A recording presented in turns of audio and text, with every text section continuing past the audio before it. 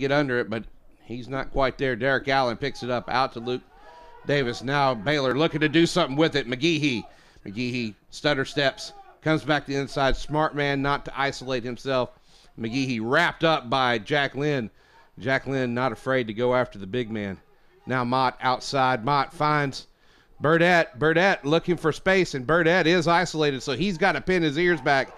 And Adam Burdett to get the first scores for Baylor. Actually, that is Johnny Deutsch. so That's the Johnny Deutsch? freshman, Uh, but Johnny Deutsch there on the burner on the side. You can see it here. Uh, nice little wrap around here. Griffin Mott takes it in, looks for the offload, gets it, and Johnny Deutsch does the rest. Ni- nice little answer back from the Bears. Now going to bring it to 19 to 7 just before half. We'll have a kickoff, I believe.